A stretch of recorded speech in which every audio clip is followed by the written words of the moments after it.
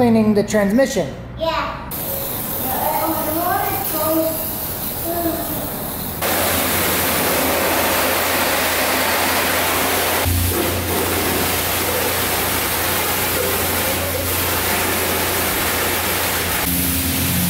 We're over here. No, don't spray me. okay, so today I'm gonna be putting, starting to put the transmission back together. I can't get the whole thing done in this video, so we'll break it down a little bit. I have to get a different direct drum for my 34 element sprag. So we'll go over that in a different video, but today we're gonna start getting everything together up to the center support, and we're gonna be adding the case saver. So this is gonna be like a partial rebuild and adding a trans brake. So some of the stuff will be different than doing a complete rebuild. So let's get started. So the first thing that I'm going to be doing is measuring this thrust washer and I measure the thickness of this. So I'm going to take the caliper here and I'm going to measure. It's like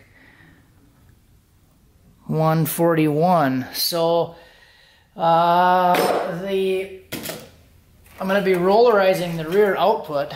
So instead of this washer style setup for the rear section, it's to be a three-piece roller style bearing. So the reason I had to measure it is because I'm to have to shim the rear section to make up for the difference. So if we measure this bearing, this comes out to like 135. And then I'm to add this shim to the back side of it. So the kit comes with three different thicknesses of shim. So now I'm going to add that. And this is the closest size. I already measured this. So one, 148. So it's, it's pretty close. That's the one I'm going to go with. And this is how I'm going to put this thing in the case. I'm going to put the shim down first take the black side and put that down. So let's start there. All right, so first thing we're gonna do is put this bearing in there. And we're gonna wanna make sure that this bushing is protruding out. This one is. If you're replacing the bushing, you have to make sure that there's a there's like a surface to catch the bearing and the shim. So this one's fine. So I'm gonna put the shim on. You can see how it kind of catches, holds it in a position, and then take the black side of this bearing push it down.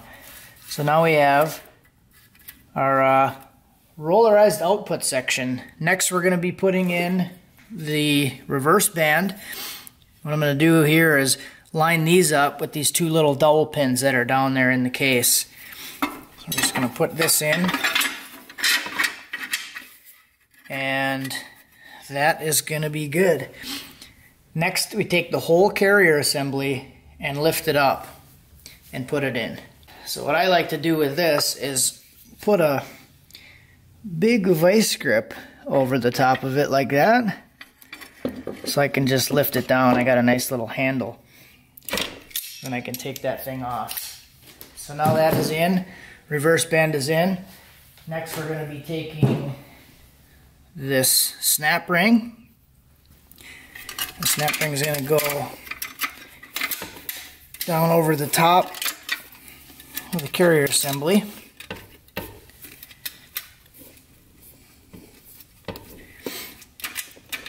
And then this is what the center support is going to rest on.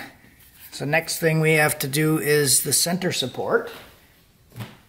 I'm also, part of my trans brake, because we're dual feeding here, is removing this sealing ring. So that center middle sealing ring is removed and that's because we're doing the dual feed mod. So now we're going to put this thing down in there. There's three holes and you're going to line that up with the case.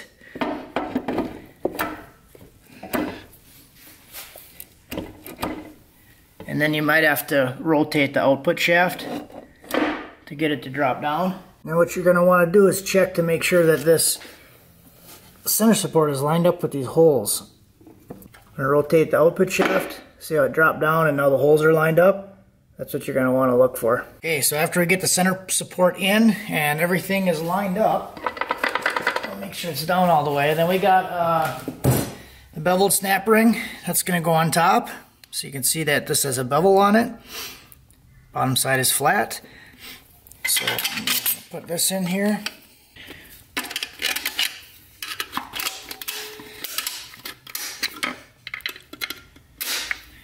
So there it clicked into place. So now center support can't come out. And next we have all the clutches and steels that are, that are gonna go in there. So this kit that I'm using has four clutches and steels. Factory is gonna have three. So I'm also removing the, wave plate and replacing it with a, a not wave plate. So that's what that one was that I just put in there. That's one of the thicker ones from the factory mixed with mixed with my kit to get the clearance that I know I need.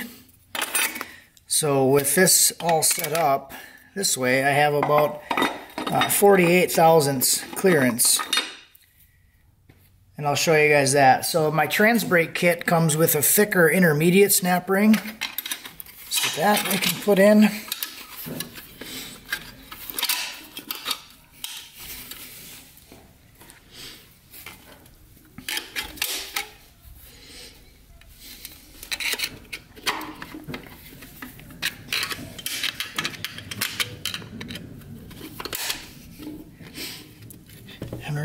Make sure that it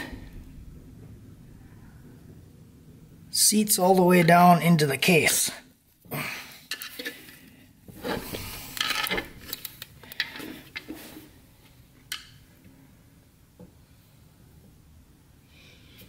Looks like it might have to come back out. I'm going to have to make some adjustments.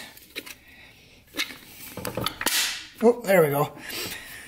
So now it's snapped in. Everything's loose. Make sure the clutches are good. So I'm going to pull the feeler gauge out. There we go.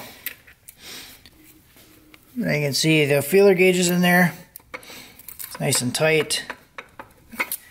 So that was about, I have a 15, a 16, and an 18 stacked up together. So 49 thousandths. So that should be good there. And then the next thing we're going to do is we're going to put the case saver in. So the case saver, what that's going to do is it's going to go over this section here where there's a split in the snap ring. Because when you get your apply pressure, you can start to push this out under high load. So case saver basically sits over the top of the snap ring like this. And it just adds an extra surface for that uh, snap ring to apply against.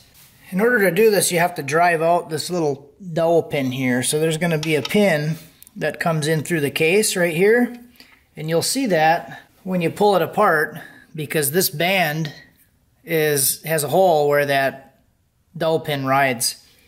So this would normally be applied in here like this, but with the trans brake and the manual valve body setup, we're not going to be using that. So we're going to take that dowel pin, drive that pin out. All I did was heat it up on the outside of the case. And then I just used a flathead and hit it with a hammer a couple times and then that pin pops out. So then you take the case saver, put it in like that. Put your uh, big bolt in.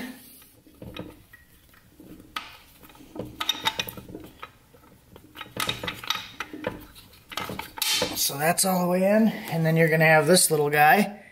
This is going to go in from the bottom side where the servo pin was for that band because we're not using it anymore. So I'm just going to go in through the bottom side and tighten this up and then I'll show you what it looks like. Alright, and this is on the side of the case here. If you reference your cooler ports, this is that pin right here that you're going to drive out. This is the nut for the case saver. That's what the case saver looks like, and it's holding down that snap ring.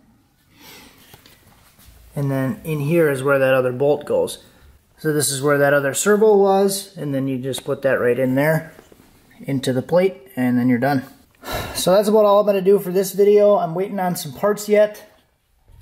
So when I pulled my direct drum apart today to do the 34 element sprag upgrade, this is the wrong drum.